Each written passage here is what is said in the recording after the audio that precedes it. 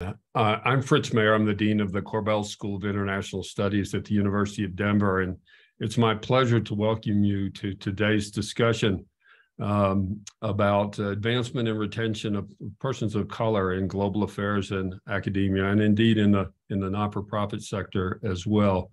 Um, uh, this is uh, the first of what will be a series of conversations sponsored by a really remarkable program, the International Career Advancement Program, or ICAP, which uh, founded and led by my colleague and predecessor as dean here at the Korbel School, Tom Rowe, um, which has provided mentorship and training uh, to hundreds, really, of uh, young professionals uh, in these fields and whose whose alumni are really a who's who uh, of persons of color in in in uh, what have been traditionally, frankly, white dominated professions. So.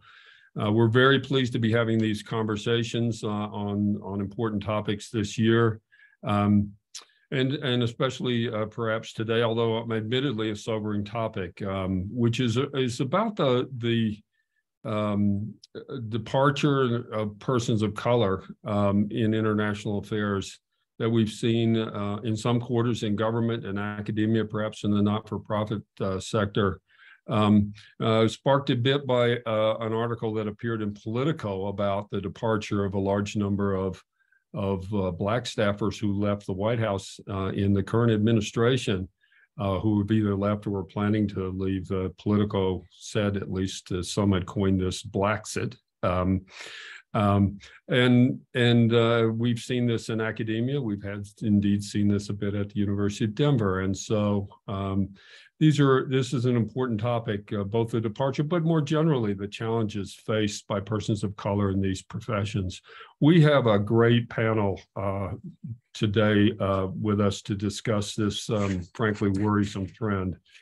Um, and I'll just introduce the panelists in in I guess in alphabetical order um, briefly and along the way, they'll probably share their own experiences. So I won't go too deeply into their bios. That we would be here all day, actually, if I if I went through the remarkable credentials of this group. Um, let me begin with my my colleague, uh, uh, Professor Nazneen Barma, who's associate professor and founding director of uh, the Scrivner Institute of Public Policy here at the University of Denver. Uh, Naz is a political scientist whose work spans topics including peace building, foreign aid, the political economy of development, and global governance with a regional focus on Southeast Asia and the Pacific. So welcome, Naz. Uh, also joining us today is Francisco Bencosme, um, who is uh, Asia Pacific Advocacy Manager of Amnesty International USA. Uh, Francisco's had a, a, varied career in multiple uh, positions on Capitol Hill, um, uh, with the Open Society, uh, and several positions at State Department. So really quite a career um, in DC. Um, and welcome, Francisco. Thanks for being with us. Um, hopefully joining us shortly will be Linda Etim, uh, who's special assistant to the president and senior director for development and global health uh, she's uh, uh, had uh, remarkable 20 years of experience in government, dealing with crisis management, global health and development, policy making and analysis, democracy and human rights, and multilateral affairs. She's worked at the National Security Council at USAID and also with the Bill and Melinda Gates Foundation. Uh, so we hope that she will be able to join us shortly. Um, um, and then um, Margaret Huang, uh, who is president and CEO of the Southern Poverty Law Center, which uh, an organization I'm sure um, all of you know about. Um, she has had a, a remarkable career um, in, in the nonprofit sector uh, as an advocate for human rights and racial justice. Um, and uh, and now serves in this uh, uh, position of, of a, a, very important institution in uh, in in certainly in the U.S. South. You may hear from my voice that I grew up in the South. Um, very familiar. So, Margaret, thank you so much for joining us.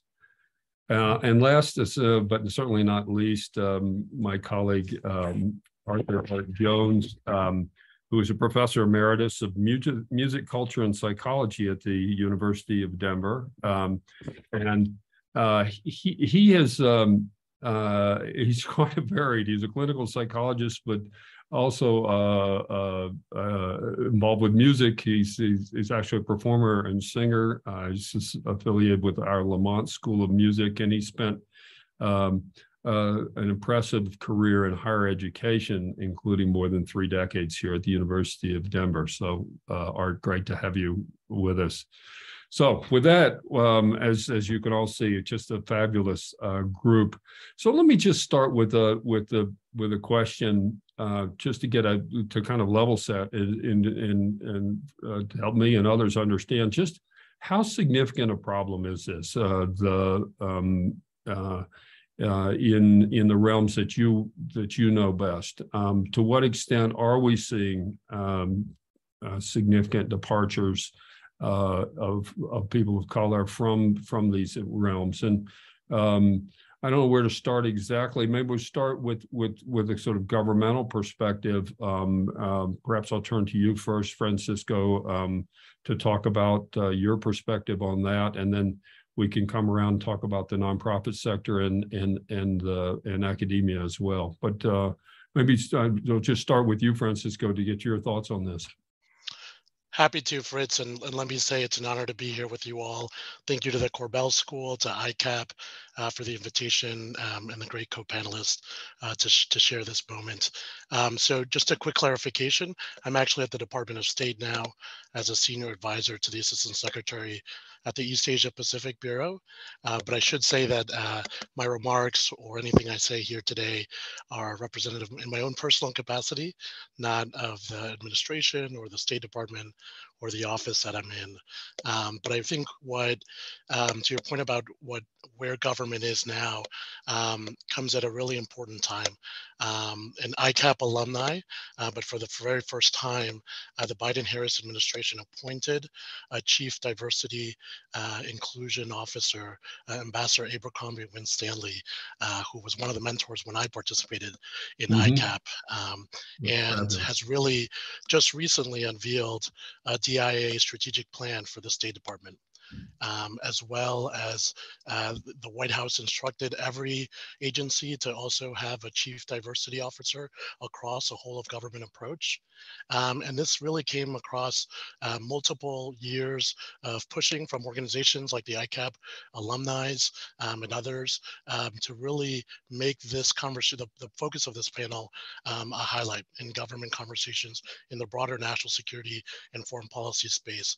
Um, I'll say that when I was working for Senator Menendez, the first Hispanic uh, chairman of the Senate Foreign Relations Committee, we commissioned a GAO report that actually found uh, that uh, since 2002 to 2018, uh, the uh, numbers of Hispanics and African Americans have largely stagnated. Um, so in cases of African Americans in, in those years, it's actually gone down. In the cases of Hispanics, it's increased from five to 7%, which is nowhere near uh, the mm. overall representation in the overall population. Um, and when it comes to senior level, uh, we certainly see a decrease across underrepresented groups. So that's just, that's just the data. I think we all have probably stories. We know that certain rooms um, and power is not always reflected on those issues of data. Um, and that uh, when it comes to the uh, positions of power, um, you know, oftentimes um, different underrepresented groups are, are, frankly not in those positions. Um, their views are not heard, and that really impacts our foreign policy. So I'll leave it there. Thank you. Yeah, yeah. Well, we'll come back around for sure to, to talk about both the, I mean, the, the consequences of this, the costs of this, uh, the, you know, uh, but also the causes of bit. Um, let me let me turn to you, Mar uh, Margaret, if I could. Um, in your experience in the not-for-profit sector, do you see are, are the trends similar um, uh, or or different there? Uh, well, I, am sure I won't surprise anyone by saying they're quite similar. I also want to add my thanks to the Korbel School and, of course, to ICAP, um, of which I'm a proud alum. I attended the program in 2003 and it was um, a foundational experience for me and obviously for so many of my colleagues who participated. So I think the best message of ICAP is to pay it forward. Um, and I think that's been one of the most outstanding parts of the program is being able to go back and support other ICAPers as they go through and think about their careers. in the nonprofit sector, Fritz, um, we are looking at a sector that employs about 10% of the US workforce. It is a sizable percentage of the population.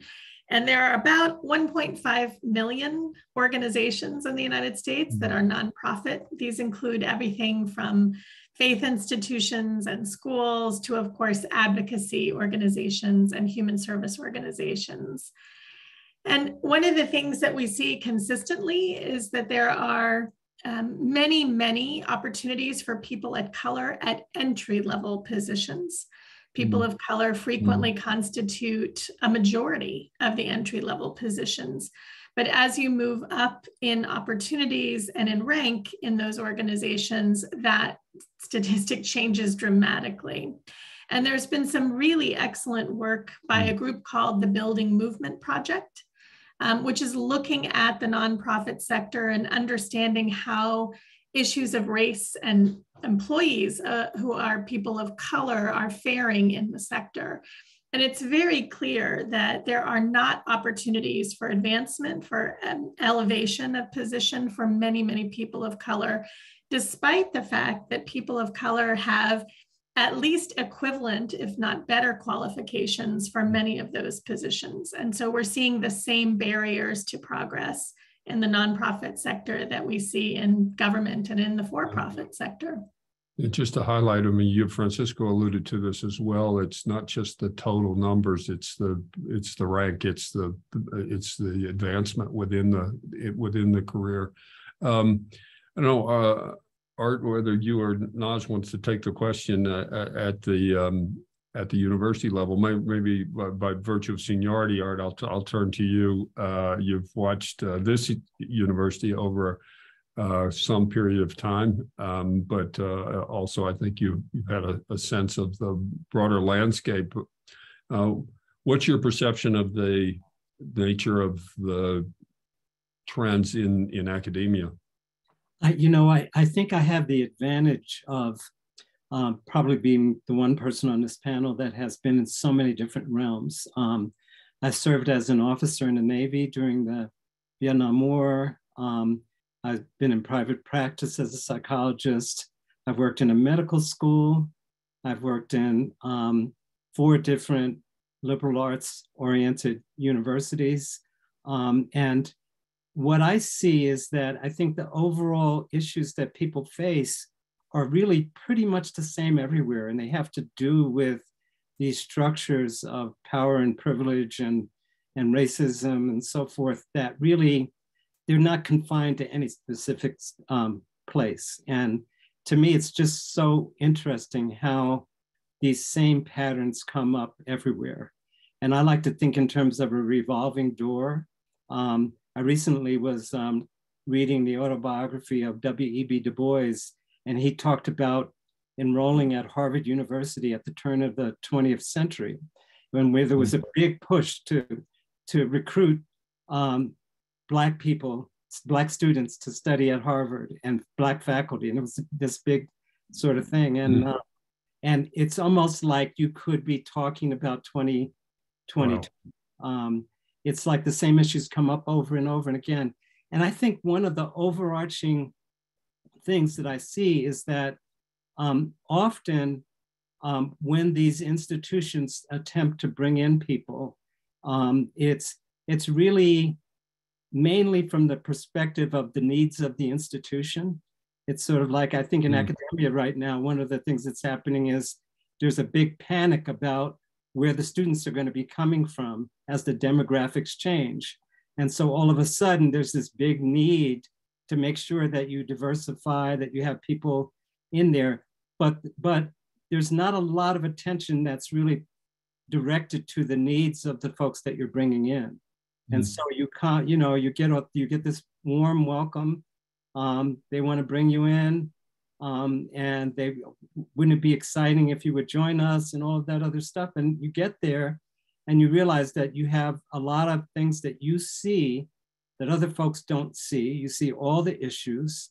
Um, other people don't really have a responsibility to do that or a need to do it. And then you get roped into trying to solve all the problems. So there's a tax on folks. So mm. there's an issue of racism in an institution. You're the you're the one that's supposed to solve it instead of the people that yeah. created yeah. the problem. So um, it, it, that's how that's how people leave, and that's how cycle starts all over again. I've seen it everywhere. Yeah. Um, I did uh, no justice to your full uh, biography, and let's we'll, let, us let us be sure to come back on on this on that particular issue and the others that you raised. I did want to uh, bring Naz into the conversation as well, and Naz, um, uh, in addition to your role here, you know, one of your roles has been um, uh, as a, as a PI now of uh, Bridging the Gap project, and you've been part of an effort to um, that really has touched a, a, a, whole generation of scholars coming into academia. And I was just wondering whether whether you might reflect from from that perspective as someone who's really in touch with uh, with the kind of next generation of scholars in in international affairs, what you're seeing. Thank you. And let me just echo my uh, fellow panelists and, and, how great it is to be here today and, and to be with all of you. Um, the, the, way that that I've sort of um, thought about this, uh, the, the, the challenge that we're talking about here is in the context of uh, the the, the uh, phrase that has been coined as the leaky pipeline. And I think we're all familiar with this concept. It was kind of initially coined, I think, with respect to um, the you know the, the leaking of women from the academy. But I think it speaks to many of the issues that um, Francisco, Margaret, and, and Art have raised in this sort of initial round of comments about, uh, you know, the entry point not necessarily being the issue, but how um, the different fields that we work in and that we occupy are structured so that the problem is as people move through the career advancement pipeline, uh, that's where uh, we're, we're, we're, losing our, our, our, colleagues who are um, coming from historically marginalized group and in particular people of color. The one statistic that kind of really struck me when I was doing some research on this for, for a piece I wrote was that in the um, in the American United States population, uh, around 40% of the, the American population identifies as non-white. In the academy writ large in uh, 2017, so five years ago, it was 28% of assistant professors that identified as non-white compared to 40% of the overall population and only 19% of full professors. So that shows both the, the fact that there's a there's a choke point in entry and that there's a there's a leaking kind of throughout the the, the pipeline itself. Um, you know, I, I think um, just to kind of uh, pick up on a couple of other themes and I think hopefully respond to your question more directly, Fritz, um, it's it, the, the question kind of regarding the staying power of, of people of color uh, in, in, in academia and in the field of international affairs. Um, I think we've seen more people coming into the pipeline. That's what I've seen over my 15 years of, of work with um, mm-hmm. Bridging the Gap uh, in academia. I also worked at the World Bank before uh, uh, coming into academia, and so kind of can speak from that perspective too. I think we see more uh, historically marginalized people coming in at the outset. Uh, the issues really relate to, I think, what Art just kind of you know put so well: the tax that is imposed on uh, those of us who you know who who enter the profession, the invisible burdens and obstacles um, that people of color face, and um, uh, the the extra invisible work uh, that they have to do. That's great. Well, uh, thank you. Well, there are a lot of common common uh, themes. It's fascinating how common actually across the sector the problems are. So, so whether we use the you know the leaky pipeline or other metaphors, um, you know, one thing that's coming out clearly is is is uh, there may be pipe, pipeline problems too. I mean, you know, the starting initial issues as well, but there's a, certainly a significant issue around advancement and, and retention. Uh, so let's let's take there are a couple of different themes here, but we can talk about others as well. You know, one one is this phenomenon, uh, Art. I think you put it well that uh, historically marginalized people are asked to solve the problem that others created. Um, talk about um, maybe we could uh, uh, elaborate a bit on that, and and uh, we could go. I'm curious, sort of, Margaret, whether you've seen that as well in the not-for-profit sector, because um, we we we we heard a bit of that in in the comments about academia and, and in in uh, government. Yes, actually, Fritz, um, another recent study released by the Building Movement Project I referenced, they mm-hmm. actually uh, took a closer look at approximately 10 or 12 nonprofit organizations that had recently seen change, change in leadership. They went from longstanding white leadership to leadership by people of color.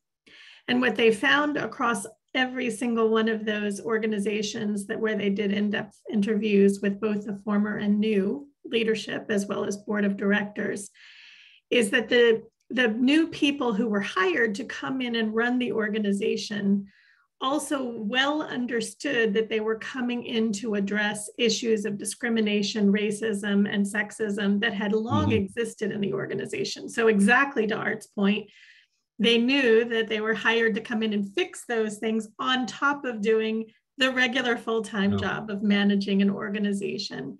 Additionally, many of them also understood the expectation that they had to defend the legacy and record of their predecessor, mm-hmm. regardless of their perceptions of whether that was due or not. Tough. Yeah. And so that's a huge burden on a new, a brand new uh, head of an organization who's also dealing with all the typical challenges of fundraising, management, organizational challenges but to have that additional burden is one that that actually was quite overwhelming for many of these new CEOs, many of whom were doing it for the first time.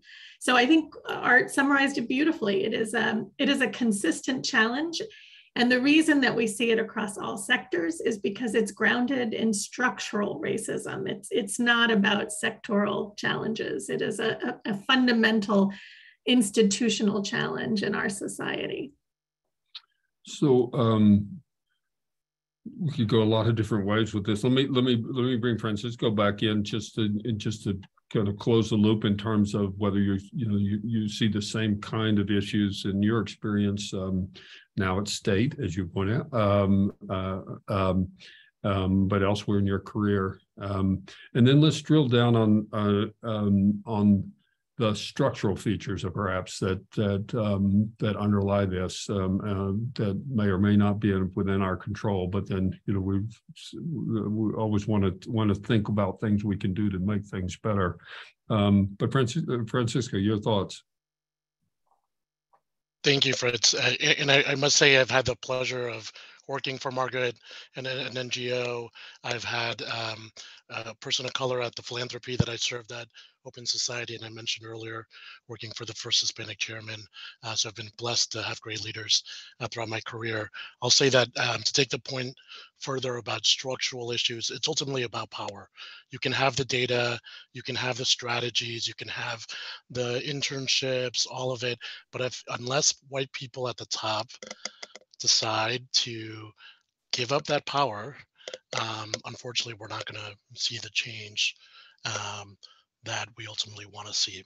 And so I think about it sometimes a little bit about um, how I think about campaigning and politics. You kind of need an inside outside strategy.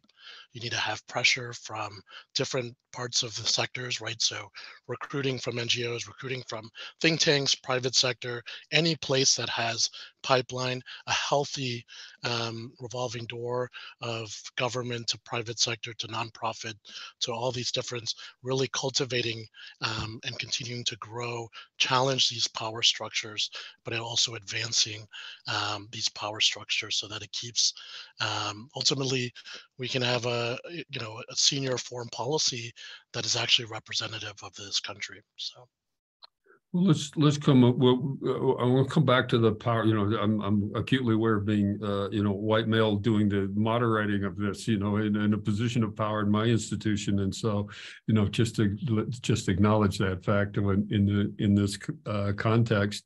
Um, I think it's. Um, I want to come back to that because it it it um, you know for those of us in these privileged positions, a, it presents a challenge for us. You know to be to be frank about it, uh, and how uh, how we can uh, do you know do what we can uh, while also advancing the mission and trying to do the, the best we can for our organization. But let me come back to I want to I want to drill down just a little bit more, maybe in the academics uh, side though, on this. Um, on this tax, this additional burden uh, that is, um, and we, we talk a lot about this in academia, the invisible work that um, um, faculty of color are called upon uh, in a variety of ways, whether it's, uh, uh you know, always being the person called on to serve, be the person of color on the committee, or whether it's to uh, additional burdens of advising uh, students who uh, need additional, you know, who, who look to, to, to, to mentors who look something like themselves, et cetera. So I'm curious, and maybe I'll come to you, Naz, first on, on this. So your, your take on that as, um, as a as a as a factor in the struggles and the in the uh, that, that, many um, um, faculty of color face in in places like the University of Denver? Yeah, um, thank you. And I think it's a really important question. I think it absolutely contributes to the, um, you know, to the to the lack of career progression and advancement. I think of it in the concept context of um, what people have called role fatigue right? How exhausting it is to be the only X in the room uh, at a meeting. Uh, if you're feeling like you're having to represent the voices of, you know, a, a number of voices, sort of not just your own. Uh, in, in, in the context of mentoring in particular, uh, where there are kind of fewer faculty of color, but more students of color because of that kind of pipeline that we that mm. we talked about. Um, you know, there's sort of more of an advising burden in sheer numbers. Um, certainly in terms of committee work for the reasons that you know that Art I think uh, kind of put his finger on uh, uh, very nicely. But it does come down to a sense of sort of actual exhaustion, uh, kind of physical, emotional uh, tax uh, that is very hard to sustain over the course of a you know of a successful career and in terms of su successful career advancement. And I think that plays a big role in the leaking of not just faculty, I should say. I think also staff of color from from the university setting, where that sort of expectation of of constantly playing a certain role, uh, you know, is is indeed very draining. Yeah, yeah. Or uh, you, calling you to elaborate on that, but but I'd also be interested in your experience, and then we'll come back around. Uh, we're focused on this particular challenge, which I, you know, uh, is clearly a, a, an issue for for uh, not just the people in academia, but in, in, in all these professions. I'm curious what what you've seen that works um, or that's helpful in this regard, and whether there um, you know certainly better or worse ways to allocate uh, the work of a place. Um, but uh, so so you know obviously feel free to, to elaborate uh, you, uh, on, on, the nature of the problem. But I'd also be really curious, and then I'd love to come around uh, to the group in in terms of all right, what what are the on, on this issue in particular? When we talk about others as well, what are the, what are some structural things that can be done that really would make a difference? Yeah, so um, I think this gets really really complicated because part of the issue that that is faced here is there's not only the tax, um, not only the things that you're kind of expected to step in and do, but there are also boundaries placed on what you're allowed to do. And mm. so if you come into the you come into a situation where um, there are people who are in a department who feel like they're being discriminated against and you go in and you meet with that person and you provide support if you then step in and say that the main problem, if you call out the main problem as being internal problems, then you get labeled as disloyal or irresponsible mm. or whatever. So it's like a there's a double bind that mm. that kind of exists, and it is really, really, really, really hard. And I and again, I've seen it in all of these different realms, and I've also been a consultant to the the ICAP problem uh, program, and I've seen it in all the um, the stories that the fellows tell about what they're doing in their work. Um, so in terms of solution, I think what really needs to happen is to have um, a lot of professional development for the folks who actually are in power that allows them to see this kind of problem and allows them to step aside and to give up that power and to allow the people who really know what's going on. And unfortunately, if you've been or fortunately, dep- depending on how you want to look at it, if you've been, if you had this experience as a person of color in these in these places, you know a lot, and you know a lot oh. about what needs to be done, um, but you don't often get to have the power to implement the things that you think need to be done. And I think there are good people. I mean, I've seen, in terms of like the good experiences, it's when I see um, a person who's in a senior leadership position who really does get it. Um, it's amazing the kinds of stuff that can happen when they open the door and allow what needs to happen to happen and not feel threatened by it. Um, there's also another issue, a cultural issue, I think that's really, really big, is what is the nature of power?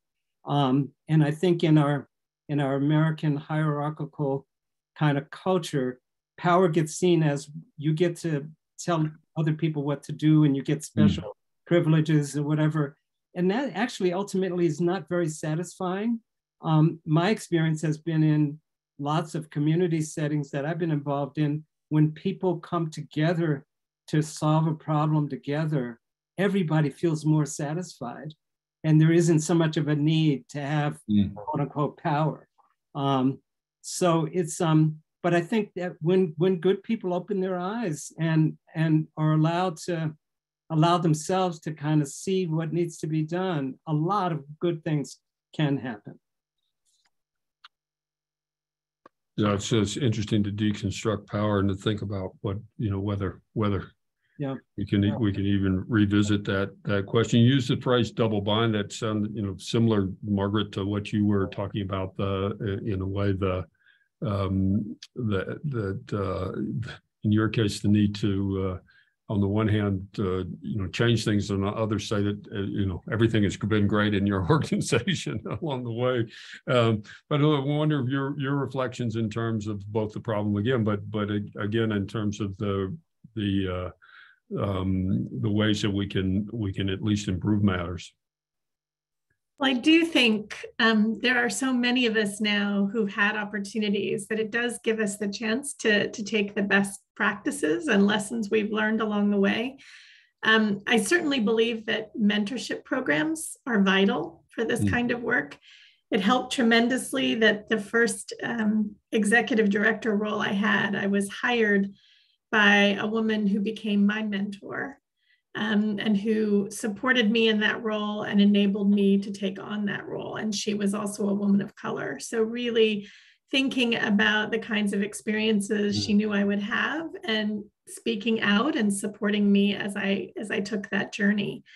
I also think programs like ICAP, where we deliberately build pipelines of mentorship, um, where we're looking out to support one Mhm. another, and that enables opportunities. So, when issues come up that all of my co panelists have referenced, when we see issues of disparity or discrimination or bad behavior, we can't ask the people who are on the receiving end of that experience Right. to be the ones to challenge it.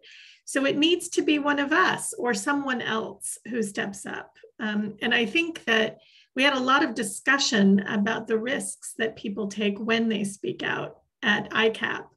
Um, and I just had the chance to return as a mentor last week to the ICAP program. But it's very clear that people do pay prices for speaking out. And so, those of us who have more privilege, more um, rank that we've achieved, it's on us to make sure that we're speaking out and calling out attention to those problems. The last thing I would note, Fritz, as um, something that I think all sectors need to be paying more attention to is the provision of mental health services to Mm. everyone.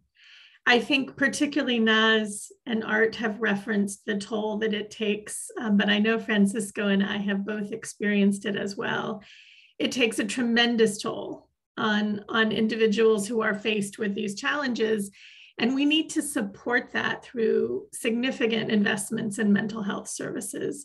This is a, a late to the game issue. Many, many employers have not prioritized mental health services. And of course, our whole healthcare system that is Oh. so unique in the world um, has many, many challenges. But another structural racism issue we'll have to talk about another time. But all that to say, um, we've actually prioritized that at the Southern Poverty Law Center, and I think I think that makes a difference when employees know that their employer is aware of challenges, is supporting them to get any support they need, and it helps as we go through these processes together. Mm, That's very helpful and very, a, a series of very uh, specific things that, that can be done. I should note, um, before, uh, I should, as those in the audience can tell them, uh, we could talk at some length uh, without involving you, but there is a Q and A uh, function. If you have questions, put, put your questions in the, in the Q and A, and we'll try to get to um, as many of them as, as we can. Um, uh, so, um, let me uh, well, let me just note, you know, I, I'm listening carefully to this and thinking about, you know, the role of someone in my position uh, in my particular organization and what I can do. Um, and uh, I, I, I at least um, uh, imagine myself being someone who is uh, providing, you know, making it safe to speak out and uh, um, and who is uh, something of an ally in that regard, but um, well aware of uh, inevitable shortcomings and fail, failures in that regard. And, I, and, and that's sort of a segue to come back to this question of power. Um, and uh, you know it's hard to give up power you know if i'm if i'm honest i like you know being uh, the dean um, um, and um, i'm i'm curious um, you know coming back maybe to francisco you raised it first is is what what does that what can be asked? What is what does that look like um, when you're when you're um, basically, uh, you know, asking for a real seat at the table um, uh, when when when maybe it's uh, it's been a kind of fake seat at the table um, for a long time. Um, what is what, what does that look like and and and and and maybe even what is what is it what is the challenge and I'll just use myself as an example for for you know someone like myself who's who is uh, you know acknowledging that uh, I enjoy certain privileges. What does that look like? That conversation with with. Yeah, it's it's a good question, Fritz. I think you know um, part of it is succession planning, right? So I'm a big uh, Game of Thrones uh, sort of uh, recent watcher, um, and it's all about what happens after you, right? Um, if if if as a leader you have not you know cultivated or nurtured or sponsored the next three to five um, people that will be in, in a prime spot from underrepresented groups to take over you then you have failed as a leader right? Um, and we have to be able to uh, hold other leaders accountable to that principle and to that kind of um, accountability and leadership qualities um, when we sort of figure out who our leaders are. So I think that's one. Um, on the proverbial table, um, you know, we always talk about be, uh, you know, sort of being in the uh, being in being in the room versus being invited to dance. Um, I think it's mm-hmm. important to you know make sure that people are heard, not just have a, a, a seat. Um, I'm also a big fan of when the table's not being expanded or we're not given a seat at the table, creating our own table so that, um, you know, creating a, a parallel structure of power that then tends to shift the narrative to more inclusive spaces. Um, it's a little bit harder because harder to do that with government because you can't create an alternate form of yeah. government, but but you can do that when the private sector, when the nonprofit sector is clearly uh, taking talent from um, the government, um, and and that's why people of color or, or other underrepresented groups want to want to leave. Um, but then also being intentional about you know making sure that your colleague is being heard like you know I, you know x or y person what are your thoughts on this issue that to me stands out as important uh, leadership qualities hmm. um, it's very helpful i'm um, curious art or, or Naz whether uh, coming at it uh, are obviously from multiple sectors, but both of you, uh, you know, with considerable experience in the in the academic realm, whether those are the kinds of things that that come to mind uh, for you as well. Yeah, I can. Um, I, would like to give an example of what happened, um, a personal experience in the Navy. Um, so when I was in the Navy, I was um, I was assigned to. I went to officer candidate school, and then I was assigned as an uh, as a uh, disbursing officer on a destroyer escort. And one of my one of the taxes that I had was I was supposed to keep all the black sailors happy, right? That the the mm-hmm. captain of the ship was really upset that the black sailors were always complaining about everything. Um, they wanted to wear afros and they wanted to do all this other stuff. And, and he was kind of sick and tired of all these complaints and why couldn't these sailors just do their work? And um, I would try to explain to him what it was like, um, you know, being in this, being on the ship and not and feeling like your needs are not being heard, and he just wouldn't listen. And mm. one of the things that ended up happening was we got we got um, sort of privileged with a visit from Admiral Zumwalt. Yeah. And Admiral Zumwalt during the Vietnam War was one of those senior leaders who spoke out and supported folks who listened in a way that other leaders didn't listen. And so when he came to the ship, um, uh, the captain was explain was complaining to him about all these things, and, and Admiral Zumwalt essentially gave him the same advice that I had given him. Um, and once that visit happened, everything changed. Um, mm.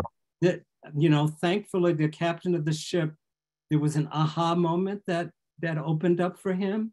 And after that, he called me into his his stateroom and he said, "Art, let's talk. You know, I'm sorry I haven't listened to you. What can we do?"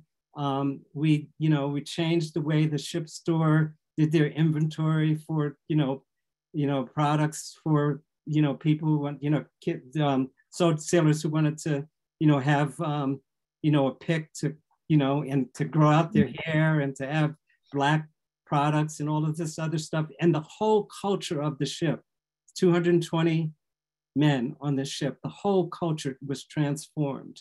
Um, and so those last three months that I was there before, you know, before I left the Navy, it was like a, I felt like I was in a different place. And I think that when you have those kinds of personal experiences where you see that everybody feels happier, um, and that the whole idea of somebody at the top just telling people what to do without really having a wide lens of understanding what the full problem is creates misery for everyone. When you Mm. When you have those kinds of experiences, that that's what creates the momentum to do think bigger things. Um, and I'd, I'd love to know what happened to the captain. I had I didn't keep up with him. What uh, happened uh, to yeah.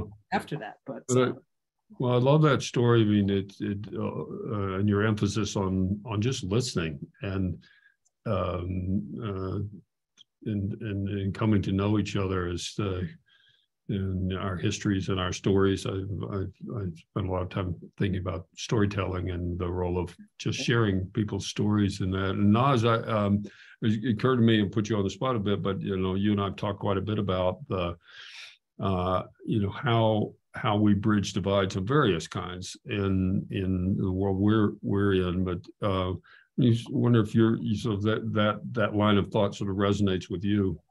Yep, very, very much so. And just sort of picking up directly from from Art's really terrific example. I mean, I think what that illustrates is that power is both instrumental and normative, right? Um, I think a lot of what we're kind of all implicitly touching on is, uh, you know, the right and responsibility of, of people of color to actually set the tone for what constitutes acceptable behavior, right? I mean, I think often, you know, Fritz, you asked us to reflect on our own personal experiences as we were coming into this conversation. I mean, I, I think that, um, you know, um, you know, to the extent that I've been successful, and in, in many ways, it's because I've been able to mimic what are dominant strategies in a field that has pretty clear criteria for advancement right? Uh, the problem that I have with the leaky pipeline metaphor that I used earlier is that it sort of promotes the notion of a single pathway, whereas really what we should be encouraging is a whole range of diverse pathways into the into the work that we're all talking about here. And I think, you know, Art's example is so great because it illustrates how kind of changing the instrumental power structure also changes that normative environment in really important ways. Well, um, so thank you, thank you for that and sharing that. And yes, I did sort of in, in prep sort of uh, you know ask each of you to, to to say a bit about your personal experience. Maybe I turn to you, Margaret, in terms of of your own your own personal experiences navigating uh, the fields that you've been in. Sure, Fritz. Uh, well, I suspect there's going to be a lot of shared experience across my co-panelists. Um, I did a short stint in the US Senate for the Foreign Relations Committee just after I graduated from uh, Columbia University School of International and Public Affairs. I spent about two years there. And then since then, I've been in the nonprofit sector.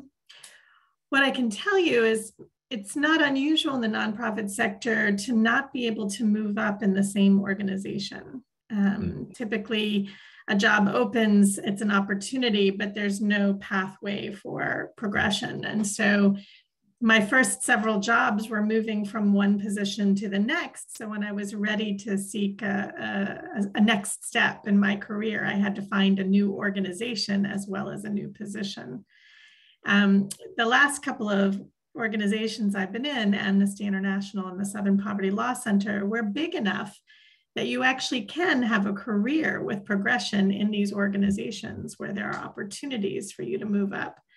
Um, but I will say it is it is still difficult, and I've been thinking a lot about Francisco's comment around succession. I think, especially in the nonprofit sector, where it's not unusual to have people who move every few years from one role to the next, that particularly leaders in the sector need to think about the role that they can play. Mm-hmm. recruiting the next generation of leaders and making space for them. So that is something I'm actually talking quite a bit with my fellow CEOs about about how we create those paths. Um, even though now many CEOs are people of color, um, and we've only just arrived, uh, but at the same time, we want to think about how we create space for others to step in. Um, we don't need to have organizations that are run by the same person for 15 or 20 years. Uh, we need to have more ideas, more diversity of thought in leadership, and that's going to require us to take those steps. Yeah um, Francisco, you were just referenced, uh, but you you were working certainly at state in a very different kind of uh, environment than um, than the NGO environment. Certainly, the smaller ones that that you that uh, Margaret you were first referencing. You know, there's there is more of a hierarchy, more of a structure. People do have uh, long careers at at state. Um, um, but you're, I'm just curious if you have uh, personal experiences uh, in your own career that you might want to share. Yeah, maybe maybe I'll sandwich with a good story, a bad story, and and, and some good, a good one. But um, I was I was lucky that in my first job on the Senate side, um, I was both helped recruited by an affinity organization, the Congressional Hispanic Staff Association. Then towards the end of my congressional career, or at least that phase of it, um, I became the president of the Congressional Hispanic Staff Association, and we mm-hmm. helped create the Hispanic Diversity Initiative, convince Speaker Pelosi to really create a pipeline um, at every level of House congressional staff. We also helped the Senate Diversity Initiative really focus on data, which, as folks know, um, congressional staff and just getting members of Congress to be transparent when it comes to data is no easy task, but we really um, put the onus on mainly Democrats to, to, to take that uh, forward. Um, like I'm sure many of my panelists, um, issues of microaggressions um, have, you know, followed me throughout every stage of my career. Um, I spoke during my time at ICAP about being uh, Latino and Hispanic, um, and always sort of being pigeonholed to work on Latin America issue, despite my entire career focusing on Indo-Pacific, Asia Pacific uh, issues, and then sort of facing that duality of like, well, like, you know, I, I remember being in, in, a new job, being like, did you really want to be here? Or like, you know, why are you not in Latin America space?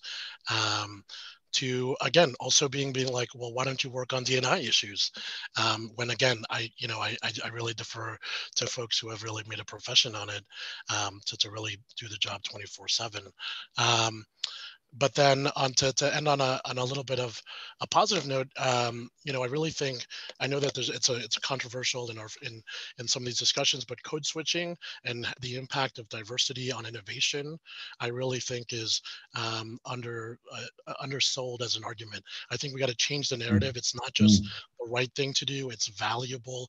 It's important yeah. for all of the workplaces, not just the private sector, but as well as each and every one of the fields that we operate in uh, for why diversity of thought. I just came from two weeks in Southeast Asia where I traveled with the special advisor on disability inclusion. And let me just say, I think the foreign policy conversations are just grappling with race and ethnicity, and we have yet to really fully grasp the issues of disability, accessibility, um, inclusion when it comes to foreign policy.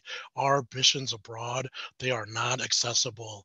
Um, we're not thinking about persons with disability when it comes to our foreign policy abroad, abroad but also how we serve our diplomats and the larger foreign policy workforce abroad.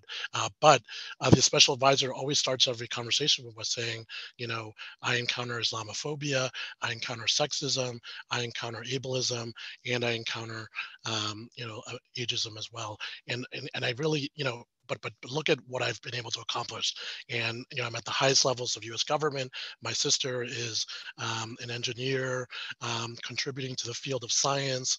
Um, and you know, Special Advisor Minkara brings this wonderful story about how you know, um, person with disabilities, Steve Hawking's of the world's, mm-hmm. were able to contribute to society. Um, and I really think it's that intersectionality. If we just build spaces where we create the most inclusive space for the most amount mm-hmm. of intersectional uh, uh, uh, groups, uh, then then that really benefits everyone. Yeah. Um, and you know, it's not just better for us to have accessible information. Um, it, it, really improves the whole classroom, improves every participant um, that is taking that kind of information. So. Yeah.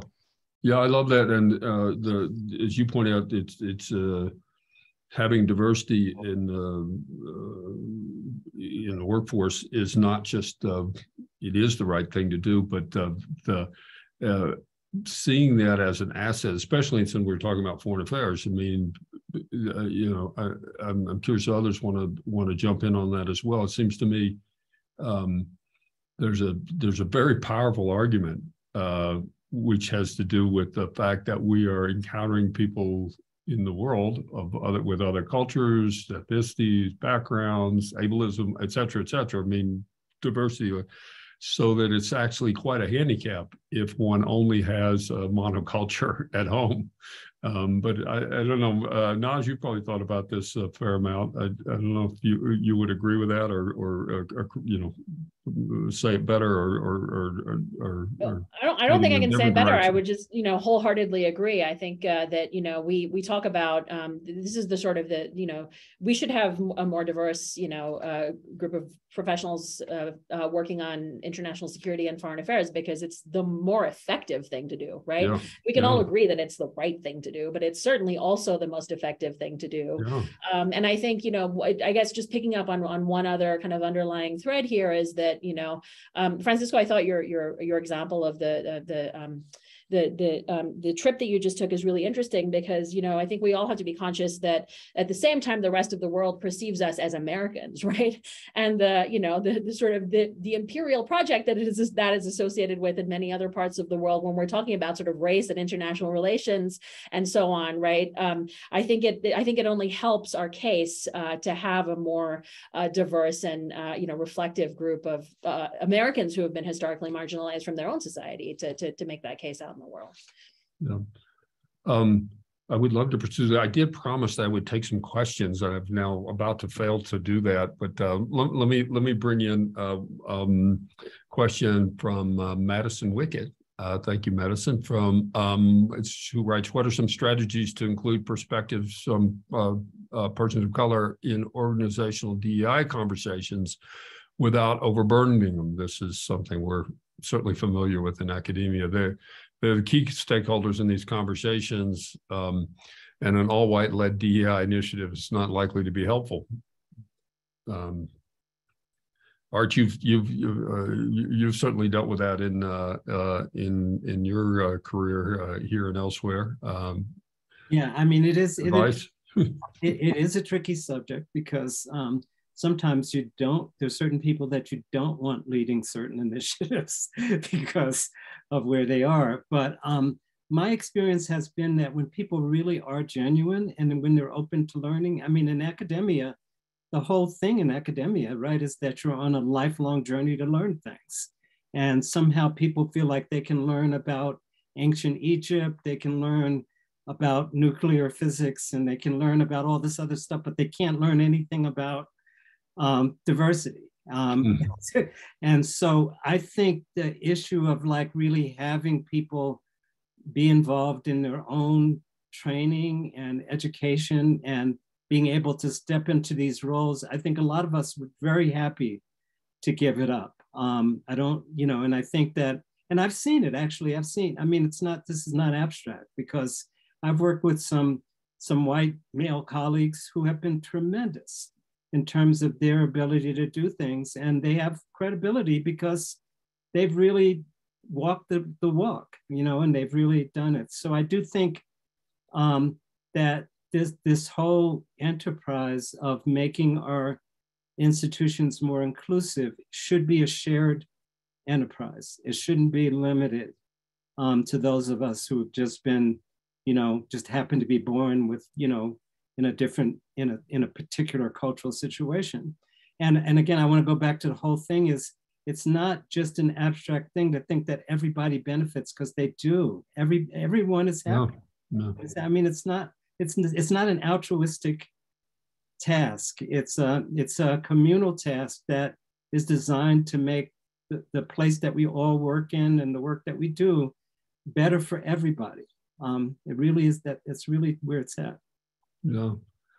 um, appreciate those that uh, that sentiment. Maybe, may I know we're just about at time. I'm I'm curious. Maybe do a quick round robin. Uh, at least some in our audience. Uh, I hope I don't know who's in the audience are, are our students. Um, we certainly are uh, have uh, a reasonable level of commitment to to uh, recruit and and train students of color. Um, um, and uh, acknowledging all of the challenges that uh, have already been spoken about uh, and the obligations that come with that. But I'm I'm curious um, uh, just to hear from all of you, perhaps quickly, your your advice um, that you would give uh, young young persons of color who are aspiring to work in in in your field. Um, and maybe we'll just go around uh, quickly. Um, I'll start with um, start with Margaret, then uh, where you are on my screen, uh, uh and then uh, have a quick last word in in terms of you know the advice that you would give um, people coming up uh, behind you. Sure, I would encourage everyone to ask for help ask for information, ask for advice, seek out people who are doing jobs that you're interested in, do informational interviews with them. You'll be surprised, particularly amongst people of color or other marginalized communities members, how many people want to help and want to support you on the way. And then remember to do the same for those coming up behind you. Oh, great advice. Um, Francisco hard, hard to follow up with that. Um, but similarly, I just feel like people, if if they're job searching, they really just need to take the risk. Um, too often, we second guess ourselves. We let our inner saboteurs get the best of us. I've learned that uh, our colleagues who are overrepresented in the field do not uh, do not wait that chance. Um, and they mm. actually, you know, and for all that same reason, we should uh, be, you know, leaning forward a little bit um, and applying for that job. So. Yeah, that's great advice. Uh, Naz. Oh, just sort of echo the the you know the fantastic points made about how important it is to to find allies and mentors, and that there are many out there, uh, all of us on the screen, uh, and many many others willing to help. I would also point out that finding uh, your mentors in your own peer group is is really valuable. Uh, you are part of the generation that's going to be making the next set of changes, and and your allies are in your peer group uh, as well as uh, in more advanced positions in their careers.